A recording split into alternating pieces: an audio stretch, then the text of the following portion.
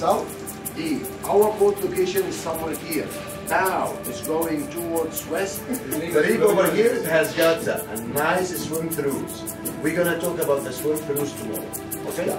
And the maximum depth you're gonna find that the seabed is between 20 24 meters. Okay? And we have got some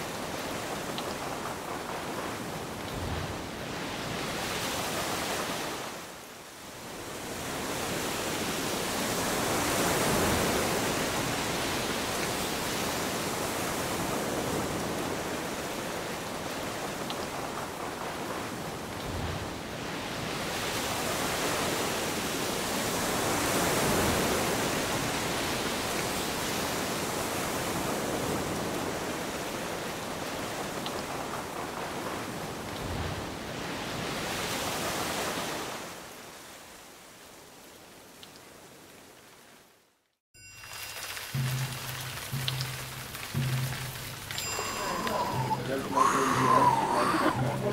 you.